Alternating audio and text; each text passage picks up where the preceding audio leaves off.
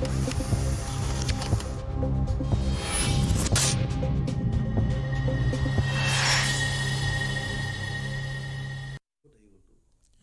Debate স্বাগতম জনাইছোঁ আৰু আৰম্ভ কৰিছোঁ আজিৰ অনুষ্ঠান বিষয় পুনৰ নিৰ্বাচনৰ ফলাফল। সময় ওচৰ চাপি আহিছে জল্পনা কল্পনা বাঢ়িছে। বিজেপিয়ে কিমান আসন পাব তাক লৈ চৰ্চা আছে আৰু কোৱা হৈছে যে এক জুনৰ যিটো শেষ অন্তিম পৰ্যায় এক জুনৰ পৰ্যায়টোৰ ওপৰত চৰকাৰ গঠনৰ বহু কথা নিৰ্ভৰ কৰিছে। এই পৰ্যায়টোত বিজেপিৰ কিমান ভাল হ'ব বা বিজেপিৰ বেয়া হ'ব নেকি বিৰোধীয়ে এই পৰ্যায়টোত অতি ভাল ফলাফল প্ৰদৰ্শন কৰিব নেকি তাৰ ওপৰতো বহু দিল্লীৰ চৰকাৰ গঠনৰ অংক হ'বলগীয়া হৈ আছে। এক তাৰিখে নিৰ্বাচন শেষ হ'ব আৰু আমি পাঁচ বজাৰ পৰাই এক্সিট পোল আমি আমাৰ নেটৱৰ্কে কৰিছে। গতিকে আমি সমগ্ৰ দেশৰ লগতে অসম আৰু উত্তৰ পূৰ্বাঞ্চলৰ এক্সিট পোল লৈ আহিম। দুই তাৰিখে ৰাজ্যৰ গণনা কিন্তু তাৰ আগে আগে আমি আজি নিৰ্বাচনৰ চাৰি তাৰিখে দুই তাৰিখে আমাৰ দুখন ৰাজ্যৰ গণনা অৰুণাচল আৰু ছিকিম আৰু চাৰি তাৰিখে সমগ্ৰ দেশৰ গণনা লৈ আহিম। কিন্তু তাৰ আগে আগে আমি বিভিন্ন সমষ্টিৰ লগে লগে আমি কথা পাতি আছোঁ। আমি আহিব বিচাৰিছোঁ অসমৰ পুনৰ এবাৰ ৰাজনৈতিক প্ৰেক্ষাপট চৰ্চাৰ বাবে। মোৰ সৈতে দুৰ্গা দাস বড়ো ডাঙৰী আছে। আমি কেইবাবাৰো লগ পাইছোঁ কিন্তু কালি আমি এবাৰ আলোচনা কৰিছিলোঁ। কালি আলোচনাত আপোনাৰ সমষ্টিৰ বিষয়ে কেইবাটাও গুৰুত্বপূৰ্ণ তথ্য কৈছে আৰু আপোনাৰ বিৰোধী দলৰ নেতাইও কৈ গৈছে। গতিকে আমি কথা পাতিম। মোৰ সৈতে ৰূপম গোস্বামী ডাঙৰী আছে ভাৰতীয় জনতা পাৰ্টীৰ প্ৰতিনিধি স্বাগতম জনাইছোঁ। মোৰ সৈতে সোণেশ্বৰ পাটোৱাৰী ডাঙৰী আছে ৰাইজৰ দলৰ প্ৰতিনিধি স্বাগতম জনাইছোঁ। কংগ্ৰেছৰ প্ৰতিনিধি হেপী গগৈ ডাঙৰীয়ানী আছে আপোনাকো স্বাগতম জনাইছোঁ। আৰু মোৰ সৈতে কমলাক্ষ দেৱপ্ৰকাশ সংযুক্ত হৈছে। কংগ্ৰেছৰ নিলম্বিত বিধায়ক চ' এটা যুক্তিৰে মানে কোন দল এতিয়া ক'বলৈ অসুবিধা কিন্তু ভাৰতীয় জনতা পাৰ্টীৰ হৈ যথেষ্ট কষ্ট কৰিছে ভাৰতীয় জনতা পাৰ্টীৰ প্ৰাৰ্থীক জিকাবৰ কাৰণে। আহ, কমলাক্ষ দেৱপ্ৰকাশ ডাঙৰীয়াৰ ওচৰলৈ মই প্ৰথমতে গৈছোঁ। আপোনাৰ এইবাৰ তাত নিৰ্বাচনৰ ফলাফলৰ ওপৰত আপোনালোকৰ ৰাজনৈতিক ভৱিষ্যত আপোনাৰ ভাৰতীয় জনতা পাৰ্টীত যোগদানকে ধৰি বহু কথা নিৰ্ভৰ কৰিব বুলিও কোৱা হৈছে। আপুনি কিমান ভোট দিছে? ছিদ্দিক আহমেদে কিমান ভোট দিছে? আপোনালোকে কেনেধৰণৰ ফলাফল দিয়ে তাৰ ওপৰতেই কৃপানাথ মল্লা অথবা হাফিজ ৰছিদ আহমেদ চৌধুৰী কোন জয়ী হ'ব এইটো নিৰ্ধাৰিত হ'ব কৰিমগঞ্জ সমষ্টিত। গতিকে কৰিমগঞ্জ সমষ্টি সম্পৰ্কত আপোনাৰ মূলতঃ আপোনাক চাগৈ আমি আৰু ফলাফল ঘোষণাৰ আগত আকৌ এবাৰ নাপাম এনেদৰে লাইভ শ্ব'ত গতিকে আপোনাৰ পৰা ফাইনেল অপিনিয়ন জানিব বিচাৰিছোঁ। কি হ'ব কৰিমগঞ্জত? কমলাক্ষ দেৱপ্ৰকাশ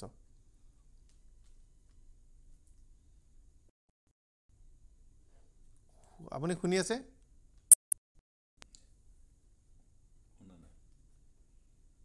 শুনাৰ অসুবিধা হৈছে। দুৰ্গাৰাজ বৰডাঙৰে আপোনাৰ হিচাপ। মাধৱ ৰাজবংশীয়ে ক'লে তেওঁ বিপুল ভোটত জিকিব আৰু ভাৰতীয় জনতা পাৰ্টীৰটো দিলীপ শইকীয়াটো জিকিবই। তেওঁ মানে এডভান্টেজত আছে বুলি এডভান্টেজিয়াছ পজিশ্যনত আছে বুলি সকলোৱে কৈছে। মই কাকোৱেই তেওঁলোকে ভবা মানুহবিলাকক কাকোৱে মই একো নকওঁ। নিৰ্বাচন তাত যদিও এঘাৰজন প্ৰাৰ্থী দৰং ওদালগুৰিত তাতে তিনিকণীয়া হৈছে। বিজেপি বি পি এফ আৰু কংগ্ৰেছ এইটো সত্য কথা। আমাৰ তিনিগৰাকীৰ ভিতৰত এজনে ফাৰ্ষ্ট এজনে ছেকেণ্ড এজনে থাৰ্ড হ'ব তাত কোনো কথা নাই। কিন্তু যিহেতু আমি এনেকুৱা প্ৰাৰ্থী নহয় যিকেইটা ৰাজনৈতিক দলৰ যে দহ হাজাৰ পোন্ধৰ হাজাৰ ভোট পাম এটা ভোট গোটেই দলে আৰু মই কংগ্ৰেছৰ আগতেও কৈছোঁ যিহেতু আমাৰ মঙলদৈ হৈ থাকোঁতেও আমি কৰিছোঁ এটা সময়ত আমি এক- একেৰাহে দুবাৰ গগৈ সমৰ্থন দিছে তেওঁলোকে কংগ্ৰেছ বৰঞ্চ সেই সময়ত দুবাৰকে তেওঁলোকৰ কাৰ্যকালত বিজেপি বিজয়ী হৈছে। আৰু প্ৰায় দুটা টাৰ্ম এ আই ডি এফে কংগ্ৰেছক সমৰ্থন দিছিলে তেতিয়াও কংগ্ৰেছ হাৰিছে। এতিয়া বি পি এফ তেওঁলোকৰ লগত নাই কংগ্ৰেছ তেওঁলোকৰ লগত নাই ভোটবিলাক ক'ৰ পৰা আনিব? বেলেগৰ পৰা ভোট আনিতো তাতে জিকিব নোৱাৰে সেই সমষ্টিৰ এঘাৰটা সমষ্টিৰ ভোটেৰেই তেওঁলোকে জিকিব লাগিব। গতিকে মই কংগ্ৰেছৰ যিটো ধাৰণা তেওঁলোকৰ ভোটৰ যিটো ধাৰণা সেই ধাৰণাটো কোনো কাৰণতে শুদ্ধ নহয়। দিলীপ শইকীয়া ডাঙৰীয়াক আমি যোৱাবাৰ বি পি এফে সমৰ্থন দিছিলোঁ যথেষ্ট ভোট আমাৰ পাইছে। আৰু দিলীপ শইকীয়া ডাঙৰীয়াক প্ৰায় দুই লক্ষ ভোট আমি বি পি এফে দিছিলোঁ যোৱাবাৰ আৰু নলবাৰীয়ে দিছিলে এক লাখ চল্লিছ চল্লিছ হাজাৰ ভোট এতিয়া নলবাৰী নাই আমি দুই লাখ দিয়া পাৰ্টিটো বিজেপিৰ লগত নলবাৰী। পুৰণা মঙলদৈ সমষ্টিৰ পৰা গৈ সংযুক্ত। হ'ল। গতিকে মই ভাবোঁ যে তেওঁৰ এই আঢ়ৈ লাখ তিনি লাখ ভোট বিজেপিও ক'ৰ পৰা মেনেজ কৰিব তেনেকুৱা ধৰণৰ কথা এটা আহিছে আৰু সেই সুযোগতে আমি বি পি এফ দলে আমি স্বাভাৱিক পৰ্যায়তে আমি আশা কৰিব পাৰোঁ যে বি টি চিত আমি ছয়টা সমষ্টিত এক নম্বৰ হোৱাটো কোনেও ৰোধ কৰিব নোৱাৰে। এতিয়া বাহিৰত যি ন লাখ ভোট পুল হৈছে মানে ওঠৰ লাখৰ ভিতৰত বাহিৰত যি প্ৰায় ন লাখ ভোট পুল হৈছে সেই পুল হোৱা ভোটখিনি এটা ধৰ্মৰ বা এটা জনগোষ্ঠীৰ মানুহ নহয়। তাত ট্ৰিমেণ্ডাছ ফাইট হ'ব কংগ্ৰেছ আৰু বিজেপিৰ মাজত বাহিৰত। সেইটো অনুচ্ছেকাৰ্য। দলগাঁৱত কংগ্ৰেছ হলেতো আগত। থাকিব গতিকে হয়তো হয়। বিজেপি শক্তিশালী দলগাঁৱত তেওঁ আগত থাকিব আমাতকৈ পোন্ধৰ বিছ হাজাৰ ভোট বেছি পাব কংগ্ৰেছে সেইটো অনুচ্ছেকাৰ্য গতিকে কিন্তু ভোট পুল হৈছে দুই লাখ আশী হাজাৰ এটা সমষ্টিত। তেওঁ এক লাখ পঞ্চাছ হাজাৰ পাই যাব পাৰে তেওঁ কংগ্ৰেছে। কিন্তু তেওঁ তাত পালে তেওঁৰ সেই ভোটখিনি বিজেপিৰ লগত কাউণ্ট কৰিবৰ কাৰণে কম্পিটিশ্যন কৰিবৰ কাৰণে বি টি চিত তেওঁ ন লাখত এক লাখ ভোট পাব। কংগ্ৰেছে। গতিকে তেনেকুৱা কথা আছে। আৰু তাৰ পৰা বাহিৰলৈ আহিলে আচলতে মাধৱ ৰাজবংশীৰ লগত প্ৰতিদ্বন্দ্বিতা হ'ব চিপাঝাৰ চিপাঝাৰ। মঙলদৈ আৰু টু চাম এক্সটেণ্ট কমলপুৰ। কমলপুৰত ইমান ডিফাৰেঞ্চ নহয়। গতিকে এই চিপাঝাৰ আৰু মঙলদৈত যদি মাধৱ। ৰাজবংশীয়ে সমান সমান তাতে ৰঙিয়াত আমি দুই নম্বৰ হ'ম। ৰঙিয়াত আমি এক নম্বৰ নম্বৰ হ'ব নোৱাৰোঁ। বিজেপি তাত এক নম্বৰ হ'ব। আমি দুই নম্বৰ। নম্বৰ হ'ব তাৰমানে। কংগ্ৰেছ তাত তিনি নম্বৰ হ'ব। কাৰণ চি পি এম যিটো ৰাজনৈতিক দল আছিল তেওঁলোকে আচলতে কংগ্ৰেছক সমৰ্থন দিব লাগিছিল তাতে। তেওঁলোকৰ বৰপেটা ছিটটোৰ কাজিয়াত চি পি এমে তেওঁলোকৰ চাৰিজন জেনেৰেল ছেক্ৰেটাৰীয়ে লিখিত প্ৰস্তাৱ লৈ আমাৰ মানে দুইটা সমষ্টিতে আমাক তেখেতসকলে সমৰ্থন দিলে। আৰু যোৱাবাৰ বাষষ্ঠি হাজাৰ- মনোৰঞ্জন তালুকদাৰ ডাঙৰীয়া মোৰ সৈতে আছিল কৈছে যে আমি আৰু মানুহে হয় বাষষ্ঠি হাজাৰ ভোট পাইছিলে যোৱাবাৰ মহাজোঁটত। মই ভাবোঁ যে গোটেইখিনি চি পি এমৰ নাছিল কিছু তাত কংগ্ৰেছৰো আছিল। কংগ্ৰেছত যদি বিছ হাজাৰো গুচি যায় আমি দেখোন চি পি এমৰ ভোটেই তাত আমি পঁয়ত্ৰিছ চল্লিছ হাজাৰ পাম। গতিকে আমি তাত যিখিনি আৰু সংখ্যালঘু ভোট আছে হাজোৰ পৰা সোমাইছে ক'ৰবাৰ পৰা সোমাইছে মইতো ভাবোঁ মোৰ আৰু হেৰিৰ মাজত আমাৰ এটা বিজেপিৰ মাজত খুব পাৰ্থক্য নহয় দলগাঁৱত। আপোনালোক দুজনে। দুটা দুজন প্ৰাৰ্থী এক দুই হ'ব বুলি আপুনি কৈছে। মোৰ সৈতে গোস্বামী ডাঙৰীয়া আছে। গোস্বামী ডাঙৰীয়া। দুৰ্গা দাস বৰুৱাই কিন্তু বি টি আৰত আপোনালোকলৈ থোৱাই নাই বিশেষ। নে চাওক মই নিজে দৰং ওদালগুৰি যিখন জিলাৰ সেই জিলাৰ মই প্ৰভাৰী আছিলোঁ। আৰু এই নিৰ্বাচনত বা সেই জিলাখনৰ তাত চাৰিটা সমষ্টি আছে। তাত মোৰ মোটামুটি তাত কিছু আভাস মোৰ আছে। তে গোটেই আমি যিখিনি সমীক্ষা কৰিছোঁ আমি ওঠৰ লাখ ভোট পলিং হৈছে। এই সমীক্ষাত আমি দহ লাখ ভোটটো পোৱা পূৰা নিশ্চিত। ইয়াত কোনো নাই বাকী মই কোন জিকিব হাৰিব মই নাজানো। বাকী আঠ লাখ তেওঁলোকে কেনেধৰণে ভগাই থাকিব ভগাই থাকিব আমাৰ আমাৰ ক- কোৱাৰ কথা নাই কিন্তু দহ লাখ ভোট আমি নিশ্চিতভাৱে তাত পাম। তাৰমানে আপুনি কৈছে যে আপোনালোকৰ। প্ৰাৰ্থীৰ ভোট দুৰ্গা দাস বৰুৱা আৰু মাধৱ ৰাজবংশী ভোটতকৈ বেছি হ'ব। আমাৰ দহ লাখ ভোট পাম ওঠৰ লাখ পলিং হৈছে। কৈছে হিচাপটো কিন্তু এইটো কথা চাব লাগিব যে মাধৱ ৰাজবংশীয়ে হিচাপ আৰম্ভ কৰোঁতে চাৰে চাৰি লাখমান সংখ্যালঘু ভোটৰ এটা গৰিষ্ঠ সংখ্যকক লৈ মোনাটো লৈ কাউণ্টিং হলত সোমোৱা নিচিনা হ'ব।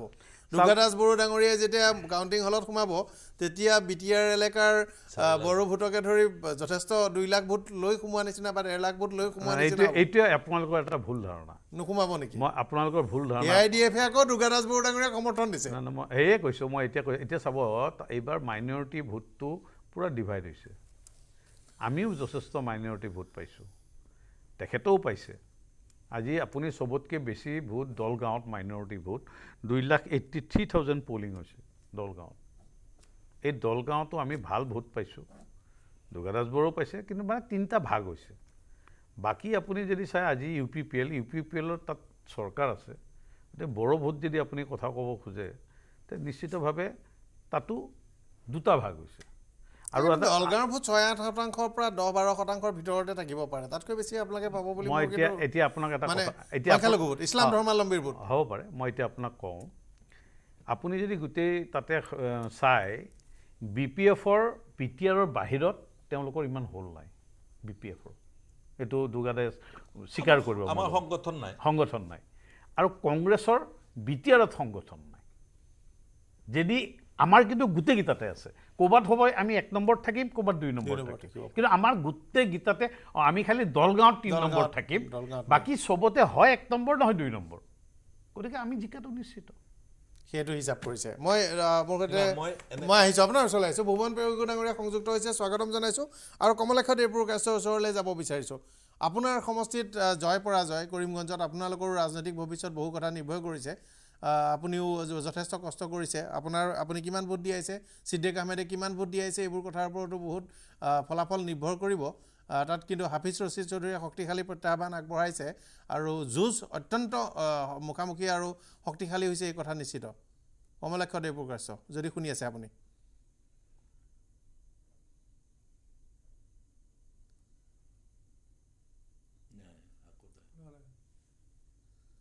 শুনি আছে আপুনি নাই শুনা নাই নাই শুনা বুলি কৈছে অঁ ভুৱন পেগু ডাঙৰীয়া ওচৰলৈ নাই শুনা বুলি কৈছে এতিয়া অলপ হ'লেও শুনি আছে চাগৈ। ভুৱন পেগু ডাঙৰীয়া ওচৰলৈ আহিছোঁ। আহ, আহ, শুনিলে ৰূপম গোস্বামী ডাঙৰীয়াই কৈছে আপোনালোকৰ সমষ্টিত অৱশ্যে বেছি প্ৰত্যাহ্বান নাই। প্ৰধান বৰুৱাৰ কাৰণে আপুনিও যথেষ্ট লাগিছে আৰু আপোনালোকৰ বিৰোধী প্ৰাৰ্থীজন বিভিন্ন কাৰণবশতঃ দুৰ্বল হ'ল। প্ৰথমৰ পৰাই তেওঁ দুৰ্বল বুলি ওলাই আছিল পিছত ভিডিঅ' চিডিঅ' ইত্যাদিৰ চৰ্চা হ'ল। গতিকে আপোনালোকৰ বিশেষ জটিলতা নাই। সংখ্যাৰে বৃহৎ নহ'লেও শতকৰা হাৰেৰে আপোনালোকৰ প্ৰাৰ্থীজন বৃহৎ ভোটত মানে বৃহৎ হাৰেৰে ব্যৱধানত জয়ী হোৱাৰ সম্ভাৱনা আছে বুলি কৈছে। ভুৱন পেগু ডাঙৰীয়া। অসমৰ ভিতৰতে হায়েষ্ট ভোটত জয়যুক্ত হ'ব আমাৰ লখিমপুৰ চিটটো আৰু মই ভাবোঁ ৰেকৰ্ড ভোটত জিকিম যিটো প্ৰব্লেম নাই। মোৰ মোৰ সমষ্টিতে ইয়াত আমি এক লাখমান নতুন সমষ্টিটো লিড দিম ইয়াতো এৰাউণ্ড তাৰমানে কি যিমান পুলিং হৈছে তাৰে মই ভাবোঁ যে এইট্টি পাৰ্চেণ্ট ভোটটো আমিয়ে পাম। আৰু বাকী মই এই আপোনাৰ কোকৰাঝাৰ সমষ্টি কোকৰাঝাৰ লোকসভা সমষ্টিৰ কথাটো আলোচনা কৰি থকা দেখিলোঁ। তাত এই মই মই দতমাত আছিলোঁগৈ লাষ্ট সপ্তাহটোত। দতমা সমষ্টি মোৰ দায়িত্বত আছিলে। তাতে গৈছোঁ তাতো মই চালোঁ তাতো যথেষ্ট লিড পাম আমি। দতমা সমষ্টিত কাষ্টিং যিমান হৈছে তাৰে মই ভাবোঁ যে মোৰ then thirty five thousand forty thousand তাতো পাম আমি। চ' সেইকাৰণে মই ভাবোঁ যে স্মুথ আমাৰ অদ্ভুত ধৰণৰ।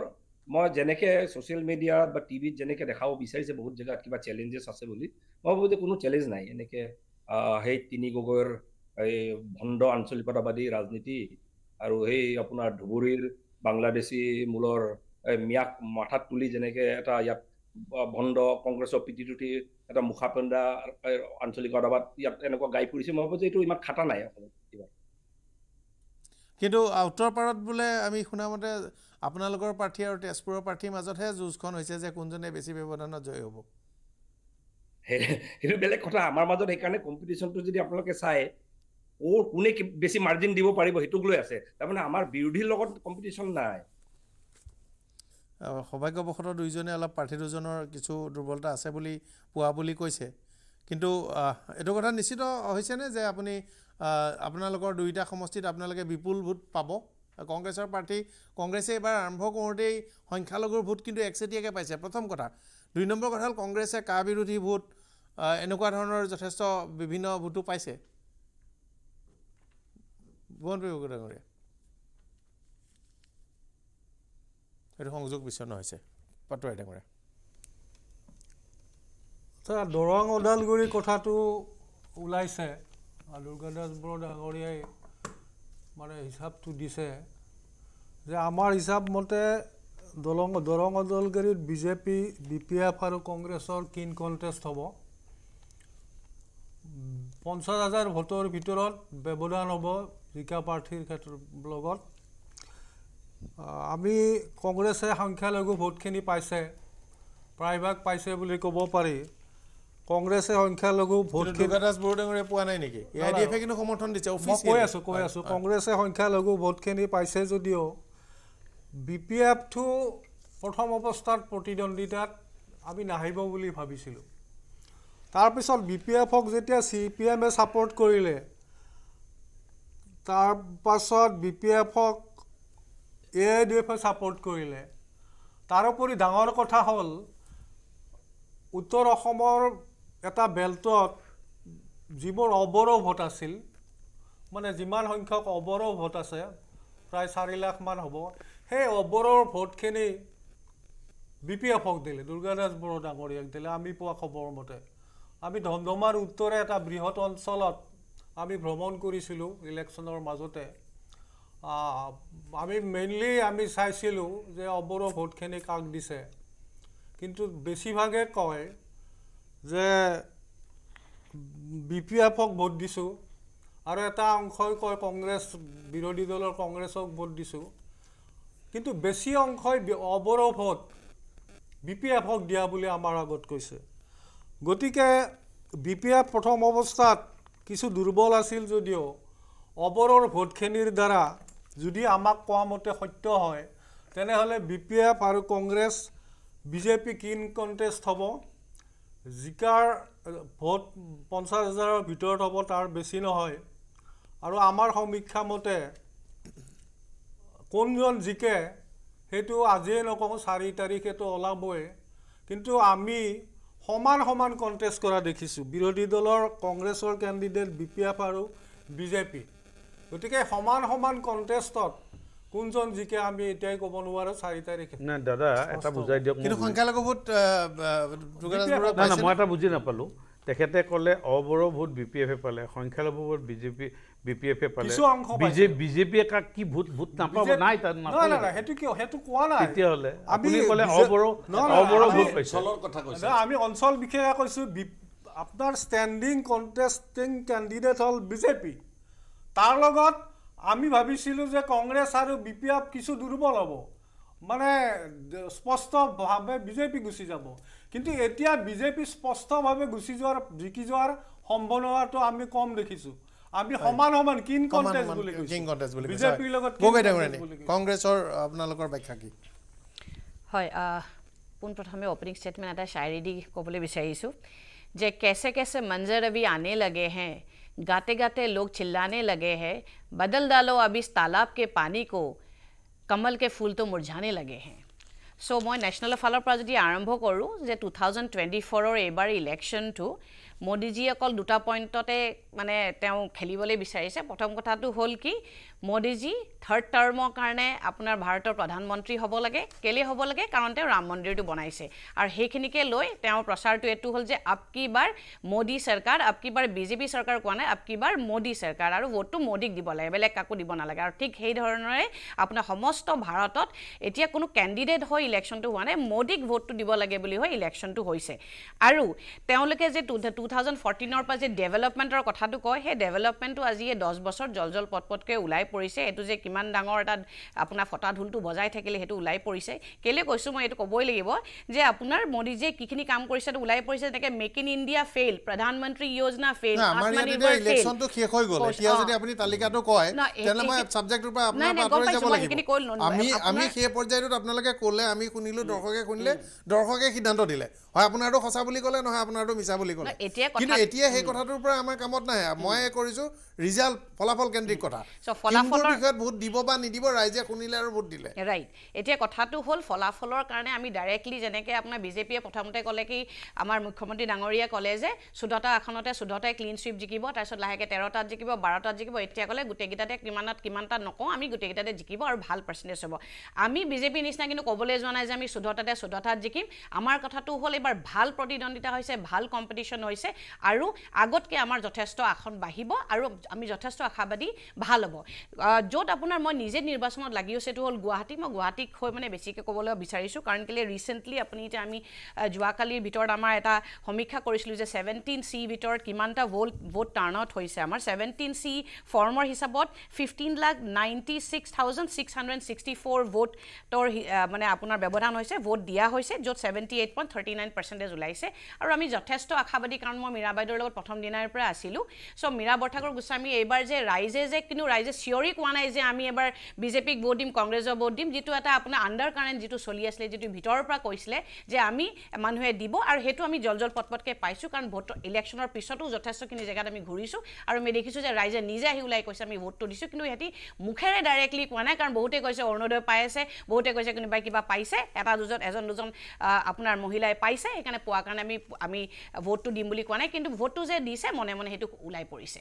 আৰু আমি এইটোৱে ক'ম যে আমাৰ কোনো গণনা নাই আমাৰ যথেষ্ট ভাল ব্যৱধান। যথেষ্ট ভাল হ'ব বুলি কৈছে। হয় মই পুনৰ এবাৰ কমলাকৰ দেৱ প্ৰকাশক সংযুক্ত হ'বলৈ বিচাৰিছোঁ। কৰিমগঞ্জ আপোনাৰ কি ক'বলগীয়া আছে? আপুনি কিমান ভোট দিয়াব পাৰিছে? কথাটো হৈছে কি ভোট এতিয়া বাকচতে আছে আৰু। এতিয়া মই কিমান দিব পাৰিছোঁ বা দিব পৰা নাই এইটো বেলেগ কথা। কিন্তু কথাটো হৈছে কি আজিৰ দিনত মই দৃঢ়তাৰে ক'ব পাৰি যে কৰিমগঞ্জ ছিটটো বিজেপি জিকিব। তো যদি এই কথাটো কোৱা হয় তেনেহ'লে এটা কথা আছে যে তাতে মাইনৰিটি ভোট অকণমান বেছি হয়। প্ৰায় এক lakh seventy two thousand eighty thousand minority vote বেছি হয়। কেনেকুৱা জিকিব আৰু? জিকাৰ কথাটো কথাটো হৈছে কি তাতে আমাৰ মুখ্যমন্ত্ৰী ডাঙৰীয়া যিটো ডেভেলপমেণ্ট কৰিলে ইভেন ইভেন নৰেন্দ্ৰ মোদী ডাঙৰীয়াৰ যিবিলাক স্কিম যিবিলাক আছে অৰ্থাৎ গোটেই বস্তুখিনি যদি আমি চাওঁ তেনেহ'লে মাইনৰিটি মুঠ ভোটৰ এটা ভাল সংখ্যক ভোট আমি পাইছোঁ। আমাৰ হেৰি কাৰণ আজিৰ দিনততো আৰু মাইনৰিটি ভোট ইমান পাৰ্চেণ্ট আছে ইমান পাৰ্চেণ্ট বিজেপি পাইছে ইমান পাৰ্চেণ্ট কংগ্ৰেছে পাইছে এই কথাখিনি কৈ লাভ নাই বিকজ অফ ডেট এই দুই মাহৰ ভিতৰত চেণ্টাৰ ৱাইজ কিমান ভোট কাষ্টিং হৈছে কিমান ভোট কংগ্ৰেছে পাইছে কিমান ভোট বিজেপিয়ে পাইছে কথাখিনি ওলাই গ'ল আৰু। সেইটো কাৰণে চেণ্টাৰ ৱাইজ ৰিজাল্ট সমষ্টি ৱাইজ ৰিজাল্ট এই গোটেইবোৰো পাই গোটেইবোৰো তথ্য ওলোৱাৰ পিছতে মই দৃঢ়তাৰে ক'ব পাৰি এইবাৰ আকৌ এইবাৰ আকৌ এইবাৰ এই কৰিমগঞ্জৰ চিটটো বিজেপি জিকিব এইটো ফাইনেল কিন্তু আপুনি যে বিজেপি জিকিব বুলি মুকলিকে আমাৰ আগত কৈছে এইকাৰণে আপোনাক বিধানসভাৰ অধ্যক্ষৰ পৰা আপোনাক পদটো বৰ্খাস্ত কৰিব লাগে বুলি অভিযোগো দিছে। আপুনি নিশ্চয় অৱগত বিধানসভাত আহি অভিযোগটো দি গৈছে যোৱা সপ্তাহত। যে মুকলিকৈ বিজেপি। প্ৰচাৰ কৰে এখেতক বৰ্খাস্ত কৰিব লাগে।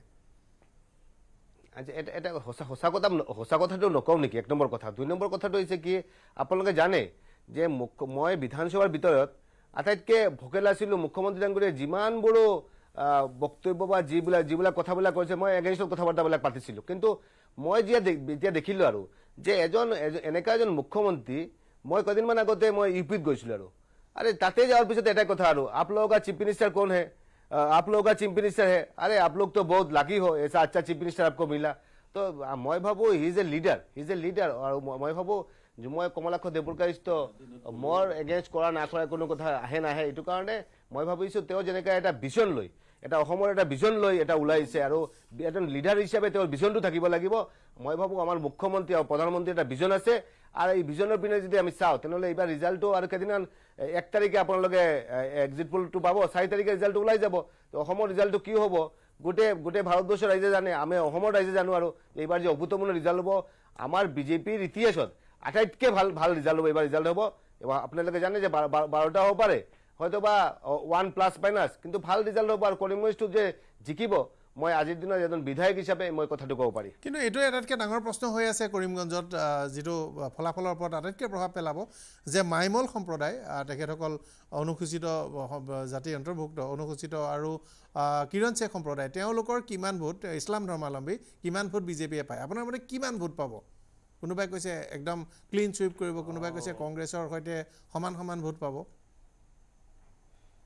চাওক কথাটো হৈছে কি এই কথাটো ক্লিন চুইপ কৰিব বা গোটেই ভোট পাই যাব এই কথাটো যে টিভিৰ সন্মুখত কৈ দিলোঁ। কাৰণ এক তাৰিখে বা আপোনাৰ চাৰি তাৰিখে কথাখিনি ওলাই ওলাই যাব। আচলতে মুছলিম মুছলিম হয় আপোনালোকে ব্যাখ্যা কৰিবলৈ আছে আৰু। সেইটো কাৰণে মুছলিম লোৱাৰ কাষ্ট ভোট যিখিনি আছে অৰ্থাৎ কিৰণ মাইমাল যিখিনি ভোট আছে সেই ভোট কিন্তু বহুত বহুত সিহঁতে হেৰি আছিলে বহুত সিহঁতৰ প্ৰব্লেম আছিলে সিহঁতৰ সমস্যা আছিলে। সিহঁতে নিষ্পৃষ লাঞ্ছিত বঞ্চিত আছিলে। কিন্তু আমাৰ মুখ্যমন্ত্ৰী সিহঁতক মাতি আনি কেনে যে আজি কিৰাণ শেখ ডেভেলপমেণ্টৰ কাৰণে কেবিনেট ডিচিশ্যন লোৱা হৈছে মাইমাল ডেভেলপমেণ্টৰ কাৰণে সিহঁতক মেইন ষ্ট্ৰীমত অনাৰ কাৰণে লৈ অনাৰ কাৰণে কেইটা ব্যৱস্থা লৈছে। এই কথাখিনিৰ ওপৰত বেছ কৰি কেনে যে জীৱনত কেতিয়াও বিজেপিয়ে ইমান মাইনৰিটি ভোট পোৱা নাই যি বিজেপিয়ে কেতিয়াও মাইমাল কিৰাণ ভোটৰ ভোটৰ ইমান সংখ্যক ভোট পোৱা নাই এইবাৰ অভূতপূৰ্ণ ভোট পাব। আৰু মই ভাবোঁ যিমান ভোট কাষ্টিং হ'ব তাৰ ফিফটি পাৰ্চেণ্ট ভোটটো পাব লাগে। মাইমাল কিৰাণ ভোটৰ ফিফটি পাৰ্চেণ্ট অন্তত বিজেপিয়ে পাব লাগে। এইটো মই এজন বিধায়ক হিচাপে যিমানখিনি মই এছেছমেণ্ট কৰিছোঁ মোৰ লাগিছে যে যিমান কাষ্টিং হৈছে তাৰ ফিফটি পাৰ্চেণ্ট ভোটে পাব আৰু। আৰু এটা কথা হ'ল যে ছিদ্দিক আহমেদে কিছুসংখ্যক ইছলাম ধৰ্মাৱলম্বী লোকৰ ভোট দিয়াবলৈ সক্ষম হৈছে সেইটোও বিজেপিক সহায় কৰিব বুলি কোৱা হৈছে। বিজেপিৰ মানে জিকিবলগীয়া পৰিস্থিতি আহিবলগীয়া হ'লে এইকেইটা কাৰকৰ ওপৰতেই নিৰ্ভৰ কৰি আছে। গতিকে আপুনি ভাবিছেনে? খবৰ কি আছে? পাৰিছেনে? ছিদ্দিক আহমেদেও দিব। তেওঁ আপোনাৰ দৰে এজন খবৰ- বিধায়ক খবৰটো যি- আছে তেওঁৰ তেওঁৰ ফলোৱাৰ্ছ আছে তেওঁ ভোটটো দোৱাইছে এক নম্বৰ কথা। দুই নম্বৰ কথাটো হৈছে কি আপুনি চাব একদম ক্লিয়াৰলি আপোনাক কৈছোঁ আৰু। Two thousand fourteen two thousand nineteen two thousand sixteen two thousand twenty one minority মানুহে কিন্তু বিৰাট ভোট দিছে কিন্তু। মানে মাইনৰিটি মানুহে মানে বিজেপিৰ এগেইনষ্টত বিৰাট ভোট দিছে। মানে নেচাৰেলি মাইনৰিটি মানুহে বিজেপিক ভোট নিদিয়ে। কিন্তু বাৰ বাৰ বিজেপিৰ এগেইনষ্টত দিছে কিন্তু আল্টিমেটলি লাভ হোৱা নাই বিজেপিয়ে গভৰ্ণমেণ্ট ফৰ্ম কৰি থাকে। ষ্টেটৰ গভৰ্ণমেণ্ট ফৰ্ম কৰিছে। চেণ্ট্ৰেলত গভৰ্ণমেণ্ট ফৰ্ম কৰিছে এইবাৰ কি কি ৰিজাল্ট হ'ব? চাৰি তাৰিখে ওলাই ওলাই যাব। এইটো কাৰণে মই ভাবোঁ এইবাৰ এই এই যিটো চিন্তা চৰ্চা এইটো বিৰাট এটা বিৰাট এটা ছিগনিফিকেণ্ট এটা কথা এটা আছে যে মানুহে মাইনৰিটি মানুহে চিন্তা কৰিছে যে আৰ এগেইনষ্টত ভোট দি কেনে লাভ নাই আৰু আল্টিমেটলি আমাৰ ডেভেলপমেণ্ট লাগিব আমাৰ এটা সুস্থ সুন্দৰ পৰিৱেশ লাগিব এটা বাতাবৰণ লাগিব। কিন্তু- প্ৰত্যেকটা সম্প্ৰদায়ৰ মানুহ মিলি যে- জীয়াই থাকিব তাৰ কাৰণে হৈছে এইবাৰহে। মাইনৰিটি মানুহে বিজেপিক ভোট নিদিব পাৰে কৰিমগঞ্জত বিশেষত তাৰ প্ৰথম কথাটো হ'ল যে অতদিনে এইটো সংৰক্ষিত সমষ্টি আছিল। সংৰক্ষিত অনুসূচিত জাতিৰ এজন দি থাকে য'ত তেওঁলোকে নিজৰ প্ৰাৰ্থী ইছলাম ধৰ্মাৱলম্বী লোকে পঠিয়াব পৰা নাছিলে। এইবাৰ প্ৰথম সুযোগ মুকলি হৈছে। দ্বিতীয় কথাটো হ'ল যে সামগ্ৰিকভাৱে কৰিমগঞ্জত যদিও হাফিজ ৰচিদ আহমেদ চৌধুৰী ডাঙৰীয়াৰ কাৰণে ডাঙৰ বিপদ হৈছে কংগ্ৰেছৰ কিছু নেতাৰ সৈতে তেওঁৰ সংঘাত আছে। যিটোৱে তেওঁক কিছু বিপদত পেলাইছে। কিন্তু আটাইতকৈ তেওঁৰ সুবিধা কামটো কৰি দিছে যে আপুনি আপুনি ডি ভোটাৰৰ ক্ষেত্ৰত কওক এন আৰ চিৰ ক্ষেত্ৰত কওক বা তাৰ আগতে আই এম ডি টিৰ ক্ষেত্ৰত কওক অসম আন্দোলনৰ পাছত ইউ এম এফ গঠনত এ আই ডি এফ গঠনত সকলোতে ইছলাম ধৰ্মাৱলম্বী সংখ্যালঘু লোকসকল বংগমূলীয়। তেখেতসকলৰ যেতিয়াই বিপদ আহিছে তেতিয়াই হাফিজ ৰচিদ চৌধুৰী ডাঙৰীয়া আছে আৰু বহু সময়ত এজন বিখ্যাত উকিল হিচাপে অধিবক্তা হিচাপে বিনা পইচাই ডি ভোটাৰ ইত্যাদি কেছ কৰি দিছে। গতিকে সকলোৱে বা বেছিভাগ মানুহে ভাবিছে যে হাফিজ ৰচিদ চৌধুৰী কেতিয়া সংৰক্ষণমুক্ত হৈছে প্ৰথমবাৰ এজন মানুহ পঠাবলৈ সুবিধা পাইছোঁ। আৰু আমাৰ কাৰণে সদায় যুঁজি থকা মানুহ এজনকে কিয় নপঠাওঁ বুলি তাত এটা আহিছে। তেওঁৰ কাৰণে বিষমবাদটো বিপদজনক কিন্তু এই কথাটো তেওঁৰ কাৰণে সুবিধাজনক হৈ আছে। কমলাক্ষ দেৱপ্ৰকাশক মই আপুনি আপুনি দুইটা প্ৰশ্ন কৰিছে। মই আপোনাৰ এটা প্ৰশ্ন প্ৰথম মানি লৈছোঁ আৰু। যে আপুনি কৈছে যে যে ৰিজাৰ্ভেশ্যন উৰ্ধ হৈছে মাইনৰিটি মানুহৰ এটা চিন্তা চৰ্চা আছিলে আছে। যে এইবাৰ জেনেৰেল হৈছে আমি ভোটটো দিম এই কথাটো মানি লৈছোঁ আপোনাৰ। কিন্তু ছেকেণ্ড কথাটো আপুনি যিটো কৈছে যে ডি ভোটাৰৰ ক্ষেত্ৰত তেওঁ বিনা পইচা কেছ খেলিছে বা হেৰি হেৰি হৈছে এই কথাখিনি মই মানা মানা মানা নাই। কাৰণ কথাটো হৈছে কি যে আজিৰ দিনত ডি ভোটাৰ সমস্যা মুখ্যমন্ত্ৰী ডাঙৰীয়াই প্ৰকাশ্য ক'লে যে আজি আগতে যিটো এটা পৰিৱেশ আছিলে যে ডি ভোটাৰ ইমান সংখ্যক ডি ভোটাৰ আছে লাখ লাখ ডি ভোটাৰ আছে লাখ লাখ বিদেশী আছে এজন মানুহে চি এত এপ্লাই কৰা নাই কৰিছে নেকি? এপ্লাই কৰা নাই। ইমান ডি ভোটাৰ সংখ্যা নাইণ্টি ফ'ৰ থাউজেণ্ড কমি কমি প্ৰায় ছেভেণ্টি থাউজেণ্ড হৈ আছে হৈ আছে। সেইটো কাৰণে সেইটো কাৰণে মই ভাবোঁ যে এই যে কথা বাৰ্তা মুখ্যমন্ত্ৰী ডাঙৰীয়াই ক্লিয়াৰলি কৈছে যে ডি ভোটাৰ যেতিয়া নাই আৰু এইখিনি ডি ভোটাৰ সংখ্যা ডি ভোটাৰ না- নাথাকে তে এই যিখিনি কথা বাৰ্তা এই যিখিনি কথা বাৰ্তা যে হাফিজ চৌধুৰী ডাঙৰীয়াই যিটো ক'ব মুখ্যমন্ত্ৰীয়ে কৰিলে আধাৰ কাৰ্ডৰ সমস্যাটো সমাধান হ'ব মুখ্যমন্ত্ৰী আগতে কৰিলে যে ডিবুটাৰ সমস্যা আৰু নাথাকে কেতিয়া জীৱনত আৰু ডিবুটাৰ সমস্যা আৰু নাথাকে এইটো যাতে গোৰ্খাৰ যেনেকুৱা ডিবুটাৰ সমস্যাৰ সমাধান হৈছে আমাৰ বেংগলী মানুহৰ ডিবুটাৰ সমস্যাটো সমাধান হ'ব যে একজন মুখ্যমন্ত্ৰী ডাঙৰীয়া যে প্ৰকাশ্যে এইবোৰ কথা- ক'ব তাৰপিছতে আৰু কোনো কথা বাৰ্তা? চেণ্ট্ৰেল চেণ্ট্ৰেল হয় নাই ইছ্যু ইছ্যু হোৱা নাই এইবিলাক কথা মুখ্যমন্ত্ৰী ডাঙৰীয়াৰ কথা মানে বেংগলী মানুহৰ ভোট যিখিনি আছে এন ব্লক বেংগলী মানুহৰ ভোট বিজেপিয়ে পাইছে আৰু এই কথাখিনি মোৰ কথা নহয় আপোনালোকে তো চাৰি তাৰিখ ৰিজাল্ট ওলাব আপুনি আমাৰ টাউনৰ ভোট বা যিখিনি বেংগলী এলেকাৰ ভোট এইখিনি ভোট যেতিয়া আপুনি গণনা কৰিব তেতিয়াই গম পাই যাব বস্তুটো। বেংগলী মানুহে। ভোট এন ব্লক গোটেই আমাৰ এন ব্লক ভোট বিজেপিক দিছে আৰু। কিন্তু এটা কথা আহ, দুৰ্গা দাস বৰুডাঙৰীয়া চলাইছে। এটা কথা কিন্তু ঠিক যে অসমত যেতিয়া আমাৰ ব্ৰহ্মপুত্ৰ উপত্যকাত মাত্ৰ দুজন জিকে সেইটো সময়তো কিন্তু তাৰ পৰা মুক্ত হস্তে ভোট দি বিজেপিক কিন্তু বৰাক উপত্যকাই বৰ শক্তিশালীভাৱে ৰাখিছিল। ব্ৰহ্মপুত্ৰ উপত্যকাত এতিয়া আমাৰ বহুত বিধায়ক সাংঘাতিকভাৱে সংগঠন শক্তিশালী। না মই এজ এ হ'ল কৰিমগঞ্জ শিলচৰ আৰু বাকী যি আমাৰ বাৰটা সমষ্টি আছে শিলচৰকে ধৰি বি টি চিৰ আপোনাৰে সংগী বিধায়ক। যিবিলাক যিকেইটা সমষ্টি আছে প্ৰথমবাৰৰ কাৰণে নিৰ্বাচন আৰম্ভ হোৱাৰ আগতে আমি ভাবিছিলোঁ যে ভাৰতীয় জনতা পাৰ্টী আৰু তেওঁলোকৰ লগত থকা দলকেইটাই খুব সহজতে ছিটবিলাক জিকি যাব। কিন্তু ফৰ দি ফাৰ্ষ্ট টাইম সাংঘাতিক চেলেঞ্জৰ সন্মুখীন হৈছে ভাৰতীয় জনতা পাৰ্টী। আৰু এই চেলেঞ্জটো ইয়াৰ আগৰ বছৰবিলাকত এম এল এ ইলেকশ্যনতে হওক বা এম পি ইলেকশ্যনতেই হওক সেইটো চেলেঞ্জ কিন্তু ভাৰতীয় জনতা পাৰ্টীৰ কাছাৰত ইমান। চেলেঞ্জ আহিছে বুলি মোৰ লগা নাই কিন্তু শিলচৰ আসনত নহয় নহয় উম, মানে কৰিমগঞ্জত কিন্তু প্ৰত্যাহ্বান আহিছে। মই গোটেই অভাৰঅল কৈছোঁ। আপুনি আপুনি চাব আজি মানে এ জি পিৰ ধুবুৰীত কেণ্ডিডেট দিছে। এ জি পিক সমৰ্থন দিছে। মইতো আৰম্ভণিৰ পৰা কৈ আছোঁ আৰু এতিয়াও ক'ম। যে ভাৰতীয় জনতা পাৰ্টীৰ এসময়ৰ সভাপতি আমাৰ দাস ডাঙৰীয়াই বৰপেটা আৰু হেৰিক কৈছিলে বাংলাদেশ বুলি ধুবুৰীক।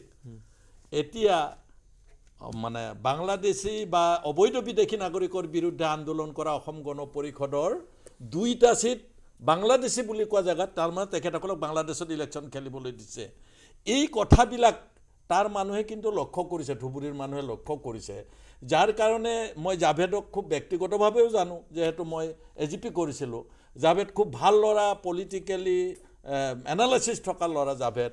কিন্তু তাৰ পিছতো আমাৰ যিখিনি ভাৰতীয় জনতা পাৰ্টীৰ সভাপতিগৰাকীৰ যি বক্তব্য সেই সময়ৰ বক্তব্য সেই বক্তব্যই কিন্তু জাভেদক ক্ষতি কৰিছে আৰু বিৰোধী পক্ষ তাক সেই বক্তব্যৰ কৰি কাৰণে হয়তো বৰপেটা পুৰণি বৰপেটা। জিলা বা ধুবুৰীত অন্তৰ্ভুক্ত হোৱা সমষ্টিকেইটাৰ ভোটকেইটা ৰকিবুল হুছেইনে বিশেষ বিপদ নোহোৱাকৈ পাব বিপদ। যদিও এক নম্বৰ, চেঙাৰ সমস্যা আছিল। আব্দুল খালেক ডাঙৰী টিকেট নাপালে জনিয়াত প্ৰভাৱ পৰিলেহেঁতেন আজি আজি শুনক আজি যোৰহাট যোৰহাটত বা আজি ডিব্ৰুগড়ত ডিব্ৰুগড়ত হয়তো বিজেপি তাত জিকিব কিন্তু তেওঁলোকে চেলেঞ্জৰ সন্মুখীন হৈছে তাতো মানে যিটোত মানে গৌৰৱ গগৈ এটা পজিশ্যন গুৱাহাটীত আজিও পাঁচ লাখত জিকিম বুলি কৈ আছে প্ৰত্যেকগৰাকী ভাৰতীয় জনতা পাৰ্টীৰ। আমাৰ এখেতো হয়তো ক'ব এতিয়া। গতিকে তেওঁলোকে পাঁচ লাখৰ সপোনটো বাদ দি জয়ী হোৱাৰ সপোন কেইটামান সমষ্টিত ভাবিব লাগে। যিকেইটাত নেকি তেওঁলোকে আজি দহ লাখ কৈছে দৰং ওদালগুৰিত। ওঠৰ লাখৰ তেখেতসকলে দহ লাখ কৈছে। তেওঁ এটা কিবা কওক। মই কিন্তু আজি এটা কথা কৈ থৈ দিছোঁ যদি ভাৰতীয় জনতা পাৰ্টীত দহ লাখ পায় মই আৰু জীৱনত ৰাজনীতি নকৰোঁ। বিধায়ক হৈ আছে কিন্তু। মই জীৱনত ৰাজনীতি নকৰোঁ। বিধায়ক হৈ বিধায়কটো থাকিব। বেলেগ বস্তু। অ, বিধায়কটো কিন্তু মই থাকিব। বি- বি- কিন্তু আৰু জীৱনত active- ৰাজনীতি আৰু- নকৰোঁ ইয়াৰ আৰু পিছত, যদি এ- 10 লাখ election পায়। politics- তেওঁ কি কয় কওক? যে তে- ম- মই কিন্তু এটা চেলেঞ্জ লৈছোঁ যে ডাঙৰ প্ৰত্যাহ্বান, কোনো কাৰণত। দহ লাখ তাতে ভোট নাপায়। এজন ছিনিয়ৰ পলিটিচিয়ান দুৰ্গাদাস বড়ো ডাঙৰীয়া। চাওক ৰাজনীতি বিশ্লেষকসকলে বহুত ধৰণৰ কথা ক'ব। কিন্তু আমি দৃঢ় যে আমি তাতে দহ লাখ ভোট পাম। এইটো একদম দৰং ওদালগুৰিত আমি ভাৰতীয় জনতা পাৰ্টীয়ে দহ লাখ ভোট পাব মই বাৰম্বাৰ কৈছোঁ। যদি ৰিজাল্ট ক'ব। চাৰি তাৰিখে এতিয়া এইবিলাকতো ই ভি এমৰ কথা ক'বই আপোনালোকে। চাৰি তাৰিখে গোটেই কথাবোৰ পৰিষ্কাৰ হ'ব। আৰু এটা কথা মই আপোনাক ক'ম তেখেতে যিটো কথা ক'লে প্ৰত্যাহ্বানৰ সন্মুখীন হৈছে। হয় আমি ভাৰতীয় জনতা পাৰ্টীয়ে এইবাৰ চৈধ্যটা ছিটত তিনিটা ছিটত আমি প্ৰত্যাহ্বানৰ সন্মুখীন হৈছোঁ। কৰিমগঞ্জ নগাঁও ধুবুৰী। আৰু এই তিনিটা ছিটত আমি তুমুল যুদ্ধ দিছোঁ। আৰু ইয়াৰ দুটা ছিট আমাৰ জিকাৰ প্ৰবল সম্ভাৱনা আছে। মই জিকিমেই বুলি নকওঁ প্ৰবল সম্ভাৱনা আছে। কিন্তু আমি বাকীকেইটা ছিটত মই ভাবোঁ কোনো প্ৰত্যাহ্বানেই নাছিল। আপোনাৰ সেইটো মত। চৰ্চা কৰি থাকিম এটা চৌ বিৰতি লৈছোঁ বিৰতিৰ পিছত উভতি আহিম। আৰু আমাৰ সমষ্টি কেন্দ্ৰিক চৰ্চা অব্যাহত থাকিব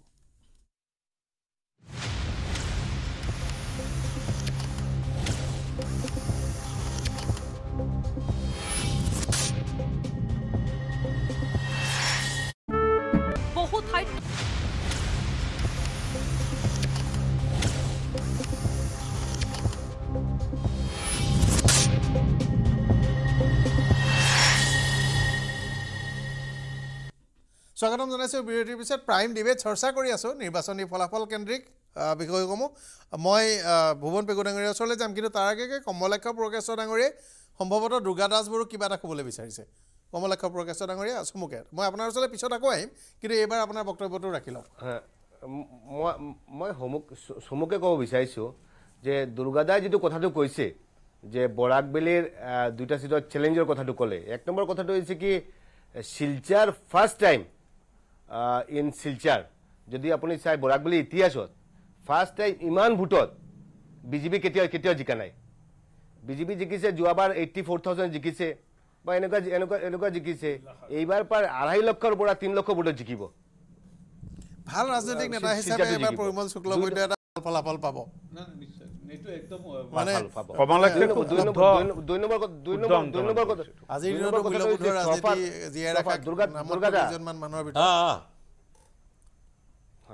নম্বৰ কথাটো হৈছে কি কৰিমগঞ্জৰ কথা কৰিমগঞ্জৰ কৰিমগঞ্জৰ যিটো ক'লে আচলতে আহ, পৰাগদাৰ কথা মতে যে নগাঁও ধুবুৰী আৰু কৰিমগঞ্জ এই তিনিটা চিট আহ, কংগ্ৰেছে জিকিব লাগে। কংগ্ৰেছৰ ডাইমক আহ, যিটো পপুলেশ্যন পেটাৰ্ণ এইটো কংগ্ৰেছৰ অনুকূলত হয়। কিন্তু কিন্তু অতি অতি অতি সুখৰে ক'ব লগা হৈছে যে আজি কৰিমগঞ্জৰ চিটৰ এনেকুৱা এটা অৱস্থা হৈছে। প্ৰায় এক লক্ষ সত্তৰ আশী হাজাৰ ভোট মাইনৰিটি ভোট বেছি আছে। ইছলাম ধৰ্মাৱলম্বী মানুহৰ ভোট বেছি আছে। কিন্তু তাৰ পিছতেও আপুনি যদি চাই আজিৰ দিনত ধীৰতাৰে আমি ক'ব পাৰি যে চেলেঞ্জ নহয়। এইটো চেলেঞ্জ নহয়।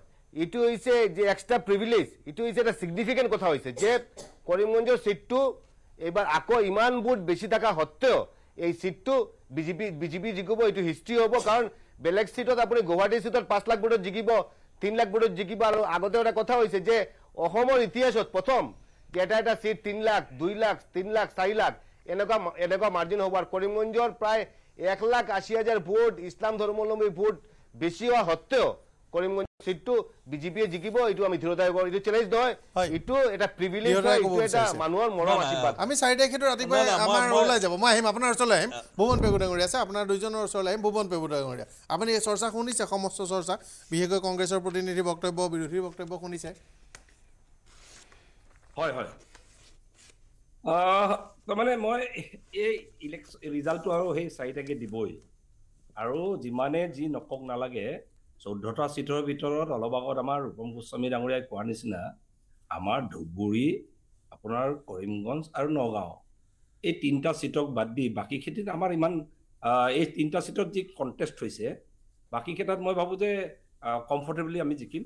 যেনেকৈ ছ'চিয়েল মিডিয়াত বা য'ত বা কেতিয়াবা কেতিয়াবা বাতৰিটো কেতিয়াবা কিছুমান কনফিউজিং কথা মানুহক কনফিউজ কৰিব চেষ্টা কৰা হৈছে। মই ভাবোঁ যে গ্ৰাছৰুট লেভেলত গাঁৱত খাটি থকা মানুহ হিচাপে মইতো সৰহভাগ গাঁৱত থাকোঁ। সমষ্টিবোৰ ঘূৰি থাকি মই মাজুলীয়ে হওক আপোনাৰ শিৱসাগৰে হওক যোৰহাটে হওক মই ঘূৰি থাকোঁ। মই ভাবোঁ যে যেনেকৈ দেখাইছে এনেকুৱা নহয়। ছ'চিয়েল মিডিয়াত আৰু সৰহভাগ যিখিনি ডিবেট মই চাইছোঁ সৰহভাগ যিখিনি ঘৰৰ পৰা ওলাই গৈ গাঁৱত নাখাতে গাঁৱত নুঘূৰে আৰু ভোটো যিসকলে নৰ্মেলি ভোটো দিব নাযায় সেইবোৰ মানুহৰ মাজত এটা এনেকুৱা ধৰণৰ চৰ্চা হৈ আছে টাফ হ'ব আমুক হ'ব তামুক হ'ব মই ভাবোঁ যে এই আপোনাৰ ধুবুৰী কৰিমগঞ্জ নগাঁও এই তিনিটা চিটতহে কণ্টেষ্ট হৈছে। এই চিটতো আমি কোনোবা এটা চিটত মই এতিয়া ধুবুৰীটোতো আমি নিজিকো বুলি আগতে কৈ দিছোঁ। আৰু বাকী মই ভাবোঁ যে কৰিমগঞ্জ নহ'লে নগাঁও কোনোবা এটা চিট আৰামছে জিকিম সেইটো। মই ভাবোঁ যে কণ্টেষ্টৰ মাজৰ পৰা আমি ওলাই আহিম এইটো আমাৰ কমলক্ষদেৱ পুৰকাষ্ঠও কৈ আছে। মই ভাবোঁ যে এইকাৰণে চাৰি তাৰিখে বাট চালে বাকীখিনি যাব। আছে। আৰু হয়। কংগ্ৰেছক অলপ এদিন অলপ ফূৰ্তি কৰিব দিয়ক না। বিৰোধীখিনিক ফূৰ্তি ফূৰ্তি কৰিব দিয়কচোন। অলপ আপোনাৰ ওচৰলৈ আহিছোঁ কংগ্ৰেছ বিৰোধী প্ৰতিনিধি আৰু দুজন আছে। আপুনিও বিৰোধী কিন্তু আপোনাৰ বিজেপিৰ লগত ফ্ল'ৰ কৰ্ডিনেশ্যন আছে। আপোনালোকৰ বিষয়টো পাতিম গগৈ ডাঙৰীয়ালৈ চাওক শুনিছোঁ গোটেই কথাখিনি। অকল তিনিটা চিটতে আপোনালোকে লাগি আছে কৈছে যে নগাঁও কৰিমগঞ্জ আৰু আপোনাৰ কি কয় ধুবুৰী। ধুবুৰীতটো ক্লিন শ্বিপ সেইটোতো আৰু প্ৰথম ৰেলীৰ সময়তে আমি গম পাই গ'লোঁ কেনেকুৱা হ'ব কি হ'ব। এবাৰ মানুহে কৈছে যে যি হ'লেও নহ'লেও আমি ধুবুৰীত এবাৰ কংগ্ৰেছে আহিবই আৰু সেইটো মেণ্ডেট ওলায়ে গৈছে। প্ৰথম ইনিচিয়েলি যেতিয়া হেৰি হৈ গৈছিলে আপোনাৰ থাৰ্ড ফেজৰ পিছত আগে আগে যেতিয়া আপোনাৰ ৰেলী চলি আছিলে আমি তেতিয়াই গম পাই গৈছে ধুবুৰী ক্লিন শ্বিপ ধুনীয়াকৈ ওলাই যাব। নগাঁৱত আমাৰ অতি ধুনীয়াকৈ ওলাব অকল এইটো বুলি নহয় যে প্ৰদ্যুৎ বৰদলৈ ডাঙৰীয়াই যিখিনি নগাঁৱত কাম কৰিছে সেইখিনি ৰাইজে জানে। তাৰ ওপৰত মানে প্ৰদ্যুৎ বৰদলৈ বৰদলৈ ডাঙৰীয়াৰ আপোনাৰ এগেইনষ্টে যি বিজেপিৰ আপোনাৰ কেণ্ডিডেট দিছিলে মানুহেও ৰাইজেও গম পাইছে যে কেনেকুৱা ধৰণৰ কি হয় কংগ্ৰেছৰ পৰা গৈ আকৌ বিজেপিলৈ গ'ল। সেইটো এটা মানে মই ভাবোঁ বিজেপিয়ে আৰু ভাল কেণ্ডিডেট দিব পাৰিলে নিজৰ মানুহ হিচাপত পুৰণা মানুহবিলাকৰ হিচাপত। সেইটোতে ওলাই যাব নগাঁৱত আমাৰ কি কয় কৰিমগঞ্জত আমাৰ কমলেক্ষ পুৰুষোত্তৱ ডাঙৰীয়াই কৈছে মোৰ দাদাৰ কথাখিনিলে অলপ বেয়াও লাগিছে আৰু অলপ মানে খঙো উঠিছে। কেলৈ কৈছোঁ তেওঁ ছমাহৰ আগতে কংগ্ৰেছৰ গুণগান গাইছিলে। এতিয়া তেওঁ গৈ কৈছে যে কি কয় আমাৰ মুখ্যমন্ত্ৰীৰ নেতৃত্বত আমি কৰিমগঞ্জ জিকিম মই দাদাক ইয়াৰ পৰাই ক'ব বিচাৰিছোঁ যে কৰিমগঞ্জ কথাটো আপোনালোকে পাহৰি যাওক। কাৰণ আমাৰ পৰাগমণি দাও অলপ আগতে কৈ গৈছে যে হাফিজ ৰচিদ আহমেদ চৌধুৰীয়ে যিখিনি কাম কৰি থৈছে ৰাইজৰ কাৰণে আৰু তেওঁ এজন যথেষ্ট ভাল অভিজ্ঞ ভাল মানুহ। তেওঁ যিখিনি কাম কৰি গৈছে তাত কৰিমগঞ্জত আমাৰ একো চেলেঞ্জ বুলি ভাবিবলগীয়া একো নাই। বাকী আৰু আমি চাৰি তাৰিখেতো গম পামেই। তাৰ উপৰি আপোনালোকে আৰু দুটা চিটৰ কথাও মই ক'ম যিটো আমাৰ যথেষ্ট ভাল চেলেঞ্জ হৈছে এইটো হ'ল যোৰহাট। আমি এইটো পাহৰিব নালাগে। বিজেপিয়ে ভাবি আছে যে যোৰহাট বহুত আৰামত জিকিব। সেইকাৰণে যিমান বাগা বাগা মন্ত্ৰী আপোনাৰ প্ৰধানমন্ত্ৰীৰ পৰা অমিত শ্বাহ চব কৰিছে যোৰহাট আৰামত নিজিকে সেইটোৱে কৈছোঁ, বিজেপিয়ে ভাবিছে জিকিব, কিন্তু নাই। যোৰহাটত এইটো- আহা কোৱাটো হ'লে ভুল হ'ব মই এইটো মানিব নোৱাৰো কাৰণ যোৰহাট যোৰহাটত বিজেপি জিকিব নোৱাৰে বুলি। কাৰণ ৰাইজে এবাৰ মই যিটো ক'লোঁ ৰাইজে মনে মনে ভোট দিছে। ৰাইজে এবাৰ চিঞৰ বাখৰি কৰি ভোট দিয়া নাই দেই। ঢোল পেপা বজলা ভোট দিলে। বহুতবিলাকে ৰেলীত গৈও আকৌ বিজেপি ৰেলীত গৈ আকৌ ভোটটো দিছে কংগ্ৰেছক। চ' সেই কথাটো ক'ব নোৱাৰে। যথেষ্ট ভাল টাফ কম্পিটিশ্যন হ'ব। আৰু আমি জানো যে যোৰহাটত ধুনীয়াকৈ ওলাই যাব। সেইকাৰণে চাৰি তাৰিখলৈকে ৰখিলে হ'ল। ইভেন আপোনাৰ ডিব্ৰুগড়তো যথেষ্ট এটা ভাল কম্পিটিশ্যন হৈছে যথেষ্ট ভাল কম্পিটিশ্যন আৰু যদি কি কয় হেৰি হয় আপোনাৰ লুৰিণজ্যোতি ডাঙৰীয়াই যিখিনি আপোনাৰ ৰাইজে যিখিনি আঁকোৱালি লৈছে যিখিনি ভাল পাইছে মনে মনে যিটো ভোট দিছে সেইটো আপোনালোকে চাৰি তাৰিখে গম পাই যাবই। চ' ৰাইজে এবাৰ বুজিও পাইছে যে- বহুতখিনি মানে আপোনাৰ কি বিজেপি চৰকাৰে কি কৰিছে কংগ্ৰেছৰ কাৰণে আটাইতকৈ সুবিধাজনক হৈছে। সংখ্যালঘু ভোট মোটামুটি এন ব্লক পাইছে য'ত পাইছে। মাত্ৰ আপোনাৰ তাত অকণমান দুই চাৰিটা ভোট সিফাল হোৱাৰ বাহিৰে পাতৰাই ডাঙৰীয়া আচলতে আমাৰ মাননীয় বা সন্মানীয় বিজেপিৰ প্ৰতিনিধিজনে আগৰ ইলেকশ্যনৰ হিচাপৰ ওপৰত কমেণ্ট কৰিছে। দুহেজাৰ ঊনৈছ চনত যিখিনি ভোট পাইছিল সেইখিনি ভোটৰ হিচাপত তেখেতে মানে হেৰি হৈ আছে মানে ফুলি আছে যে এইকেইটা আমি পামেই। কিন্তু আচলতে দুহেজাৰ ঊনৈছ চনৰ ইলেকশ্যন আৰু এইবাৰৰ ইলেকশ্যন একে নহয়। এইবাৰ বহুত কাৰকে বিজেপিৰ বিৰুদ্ধে বহুত মানুহে লাখ লাখ মানুহে ভোট দিছে। এটা হ'ল এণ্টি এষ্টাব্লিছমেণ্ট যিটো পৰিৱেশ দ্ৰব্যমূল্য বৃদ্ধি নিবনুৱা সমস্যা আৰু বিভিন্ন সমস্যাই যিটো পৰিৱেশ আনিছে সেই পৰিৱেশত একেবাৰে কঙা হৈ বিজেপিৰ বিৰুদ্ধে বহু সংখ্যক মানুহে ভোট দিছে। এই কথাটো তেখেতসকলে মানে উপলব্ধি কৰা নাই। কেৱল দুহেজাৰ ঊনৈছ চনৰ ইলেকশ্যনৰ হিচাপটোৰ ওপৰতে তেখেতসকলে কমেণ্ট কৰি আছে যে আমি তেৰটাই জিকিম বাৰটাই জিকিম। আচলতে সেইটো সঁচা নহয়। এইবাৰ প্ৰতিটো সমষ্টিত প্ৰতিটো বিধানসভা ছেগমেণ্টত এণ্টি এষ্টাব্লিছমেণ্ট কাৰকে বিজেপিৰ বহুত ভোট কমিছে। আৰু সেই ভোট কিমান কমিছে তাৰ ওপৰতহে নিৰ্ভৰ হ'ব বিজেপিৰ জয় পৰাজয়ৰ কথাটো। আৰু দ্বিতীয়তে আন এটা কথা হৈছে প্ৰধানমন্ত্ৰী নৰেন্দ্ৰ মোদীৰ হাৱা এতিয়া নাই। সেই হাৱা অসমতো নাই বা সৰ্বভাৰতীয় পৰ্যায়তো নাই। সেই হাৱা যেতিয়া একেবাৰে নিশেষ হৈছে আৰু সেই কাৰকে কিমান ভোট কমাব বিজেপিৰ ঊনৈছ চনৰ নিৰ্বাচনৰ ভোট সেইটো জনসাধাৰণে চাৰি তাৰিখে দেখিবলৈ পাব।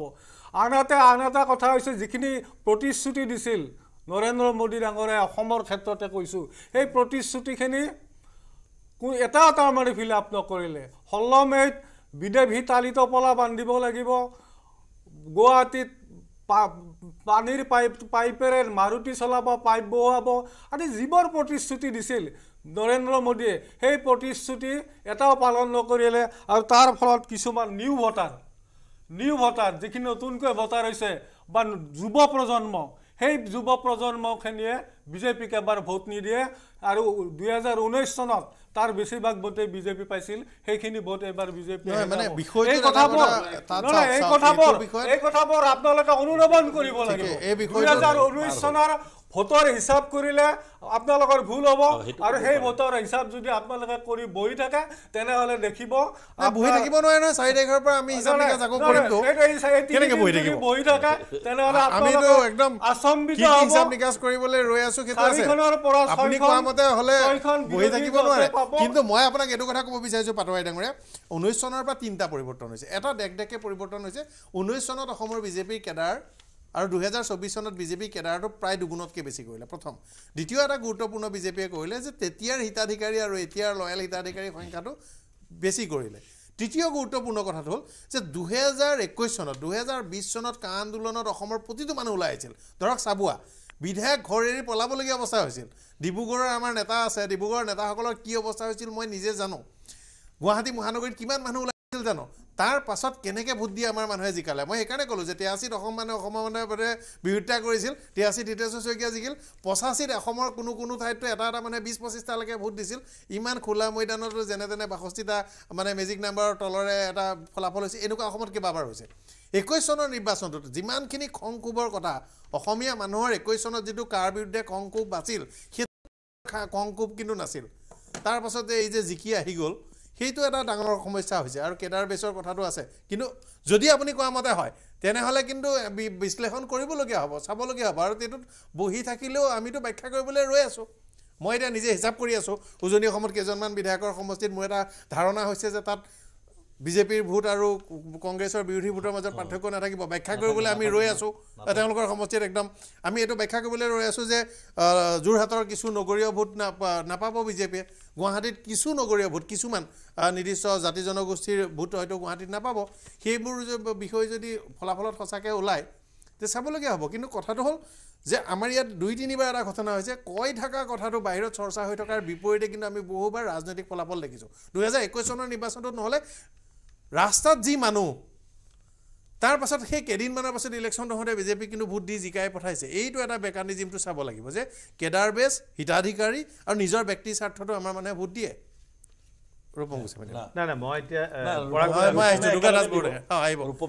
দিব চৰকাৰী মানুহ। মই অলপ আগতে আমাৰ ভাইটি পুৰকাষ্ট ডাঙৰীয়াই যিটো কথা কৈছে সেইটো কৰিমগঞ্জৰ ক্ষেত্ৰত আপুনি চাগে অলপমান যদি মন কৰিছে পুৰকাষ্ট ডাঙৰীয়াই যে আমাৰ ভুৱন পেগু ডাঙৰীয়াই আপোনাৰ কথাটো ইতিমধ্যে কাটিছে। কাৰণ কৰিমগঞ্জ এই তিনিটা চিট ধুবুৰী কৰিমগঞ্জ আৰু নগাঁও এইকেইটা চিট তেওঁলোকে পোৱাৰ শাৰীত ধৰা নাই। আনকি প্ৰত্যেকগৰাকী ভাৰতীয় জনতা পাৰ্টীৰ কৰ্মকৰ্তাকো যদি সোধা যায়। তেনেকুৱাকৈ কৈছে। গতিকে মই এই এই কথাটো মই কৈ থৈ দিলোঁ। এতিয়া মোৰ মূল কথাটো হৈছে অলপ আগতে এংকৰ ডাঙৰীয়াই যি যিটো কথা কৈছে হয় কেডাৰ আৰু যিখিনি বেনিফিচাৰিজ আছে যথেষ্ট সেইবিলাকে কাম কৰে। কিন্তু সাময়িকভাৱে যোৰহাটতো আজি ভৰসা বিজেপিৰ।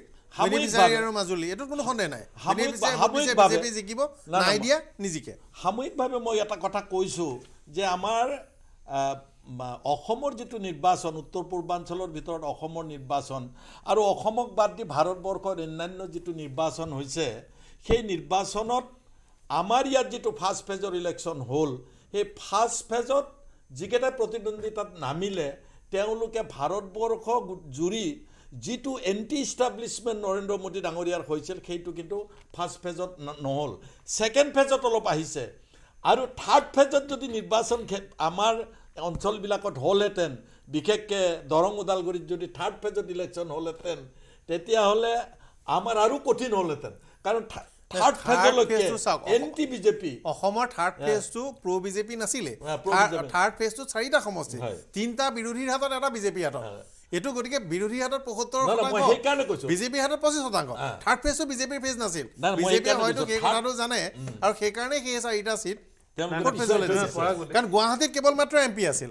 তাৰ বাহিৰে নৱশৰণীয়া তাত জিকি আছিল বিজেপিৰ নহয় তেওঁ বিজেপিৰ বিৰোধিতা কৰি আছে। ধুবুৰীত বিজেপিৰ নাছিলে। আৰু-। বৰপেটাত কংগ্ৰেছৰ চিট আছিল। একেটা উত্তৰ দিব। মই এই কথাটো এইকাৰণে কৈছোঁ আপুনিও কৈছে বাৰু এইটো কথা। কিন্তু মই এইকাৰণে কৈছোঁ গোটেই মই আৰম্ভণিতে যিটো কথা কৈছোঁ। যে আমাৰ অসমত ভাৰতীয় জনতা পাৰ্টীয়ে আপুনি যেনেকৈ কৈছে অসম গণ পৰিষদে এইটি ফাইভতো ছিক্সটি টু চিট পাইছে ইমানৰ মাজতো। তাৰ- পিছৰ বাৰত অন্য দলৰ লগত লগ লাগি আমি ছিক্সটি ফ'ৰ পাৰ কৰিছোঁ। ভাৰতীয় জনতা পাৰ্টীৰ দুটা এম এল এ ইলেকশ্যন হ'ল। তেওঁলোকো ছিক্সটি টু পাৰ কৰিব পৰা নাই। তেওঁলোকেও বন্ধু দলৰ লগত বেছি হৈছে। গতিকে সেই ফালৰ পৰা মানে এই আগন্তুক ইলেকশ্যনটো কিন্তু তেওঁলোকৰ কাৰণে খুব সহজ হৈ থকা নাই। চেলেঞ্জ সাংঘাতিক চেলেঞ্জৰ সন্মুখীন হৈছে। নাই নাই মই এতিয়া পৰাগমণি আদিত্য মই হেপিক মই আনহেপি কৰিব খোজা নাই। গতিকে মই ঠিক তেওঁলোকে ভাবি আছে যিটো ভাৱধাৰণা লৈ আছে লৈ থাকক তাত মোৰ ক'বলগীয়া নাই। আৰু আমাৰ সোণেশ্বৰ ডাঙৰীয়াই যিটো ক'লে যে মোদী ডাঙৰীয়াৰ ঢৌ নাই এইটোৱে তেওঁলোকে ভুল কৰিলে। তেওঁলোকে ভাবিছিল যে যোৱাবাৰ আমি ঢৌ আছিল মোদী ডাঙৰীয়াৰ ঢৌ আছিল তাৰমানে ঢৌটো সাগৰেৰে আহে নহয়। এইবাৰ ঢৌ অহাই নাই এইবাৰ ধুমুহা আহিছে। আমি তেওঁলোকে সাগৰতে লাগি থাকিল। আমি বতাহেৰে লৈ আহিলোঁ। আৰু সেইকাৰণে আমি চাৰ্চৰ পাৰ ক'লোঁ সকলোবোৰ চাৰ্চৰ পাৰত লাগি থাকিলে। আৰু। এইবাৰ আমি চাৰ্চৰ পাৰ এশ শতাংশই হ'ব। দুৰ্গাদাস ডাঙৰীয়া দহ বছৰ চৰকাৰ হৈছে দহ বছৰত একদম শক্তিশালী এণ্টি ইনকামেঞ্চি আপোনালোকৰ। আছে। কিন্তু ইয়াত। মেনেজমেণ্ট টেকনিক আছে। আজি যোৰহাটৰ কথাটোত আমি এতিয়া গৌৰৱ গগৈ জিকি যাব বুলি একদম স্পষ্টকৈ কিয় ক'ব পৰা নাই? কাৰণ বিজেপিৰ যিটো বুথ মেনেজমেণ্ট কেডাৰ মেনেজমেণ্ট ব্যৱস্থা আছে সেইটো আজিৰ তাৰিখত কংগ্ৰেছৰ নাই। নাই নাই মই মই পৰাগমণি আদিত্য আজি মই- কৈ দিয়া নাই যে- আজি আজি আপোনাক কওঁ চাওক অলৰেডি আমাৰ প্ৰায় ছটা আমাৰ নিৰ্বাচন ভাৰতবৰ্ষত হৈ গ'ল। আৰু ইতিমধ্যে আমাৰ চৰকাৰ আমি তিনিশ পাৰ কৰিলোৱেই। এইটো একদম নিশ্চিত আৰু এই কালি নেক্সট নিৰ্বাচন আছে এক তাৰিখে আমি এশ মই নিৰ্বাচনৰ। সময়ছোৱাত কোৱা নাছিলোঁ অন ৰেকৰ্ড এইটো কথা ক'ব পাৰে। মই আমি যেতিয়া ভোটত ঘূৰি ফুৰোঁ ইয়াৰ আগৰ নিৰ্বাচনটোত মই ডেৰমান বজাত এটা সমষ্টিৰ ভোট চলি আছে মই আহি এঠাইত পালোঁ। বিজেপিৰ দুজন নেতা আছিল মোক দেখিলে তেওঁলোক ওচৰ চাপি আহিলে আমি কথা পাতি আছোঁ। তেওঁ আমি বিছ মিনিটমান কথা পাতি আছোঁ তেনেকুৱাতে তেওঁলৈ দুটামান ফোন আহিল দৌৰা দৌৰি লাগিল তেওঁ ফোন কৰিলে। মোৰ সন্মুখতে হ'ল কাৰণে ঘটনাটো গম পালোঁ।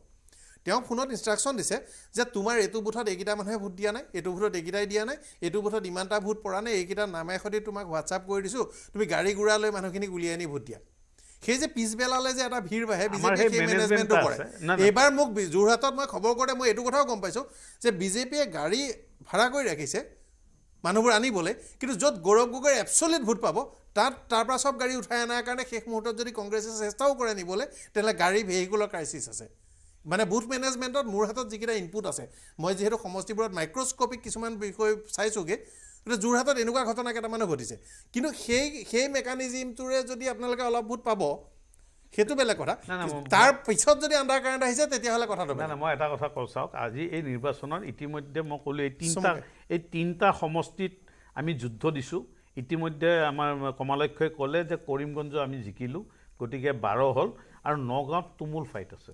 যদি নগাঁৱত আমিনুল আমিনুল- শুনক ইছলাম ডাঙৰীয়াই আমিনুল ইছলাম ডাঙৰীয়াই যদি ভোট দুই লাখ অতিক্ৰম কৰে মই আকৌ কৈছোঁ ইউ ডি এফৰ কেণ্ডিডেট আমিনুল ইছলাম ডাঙৰীয়াই যদি দুই লাখ অতিক্ৰম কৰে তেতিয়াহ'লে আমি নগাঁও জিকাটো খাটাং নাই, দুই লাখ মানে- অতিক্ৰম কৰিলে নিজিকে। আপোনালোকে বাৰ তেৰ শতাংশ মাইনৰিটি ভোটো পাব নাই, লাগিব। মই আপ- আপুনি বাৰৰ কৈছে- পৰা তেৰ শতাংশ মাইনৰিটি ভোট পাব লাগিব আপোনালোকে পাইছো। কম আমি পাইছো।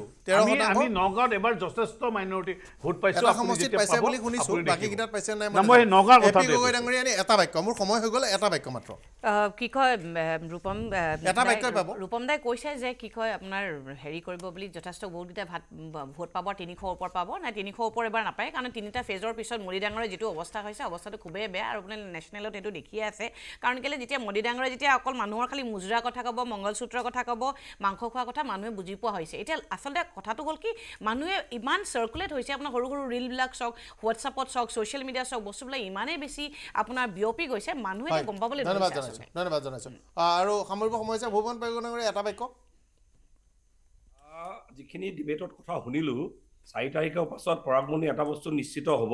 বিৰোধী ঐক্যমঞ্চ তিনি গগৈ গোটেইখিনি গৈ আপুনি আমি ফাইটটো কৰ্ণাৰ কৰিব পাৰিছো বাংলাদেশী মূলৰ মিয়াৰ বেল্টত সিহঁতক কৰ্ণাৰ কৰি দিব পাৰিছো আৰু খিলঞ্জীয়া।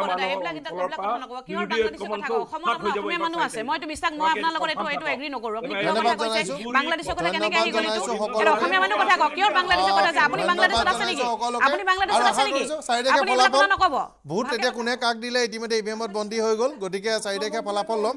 আৰু চাৰি তাৰিখৰ পৰা একেৰাহে কেইবাদিনলৈ বিতং বিশ্লেষণ লৈ আহিম ধন্যবাদ জনাইছোঁ সকলোকে আৰু অনুষ্ঠানৰ সামৰণি মাৰিছোঁ। শুভৰাত্ৰি। ধন্যবাদ।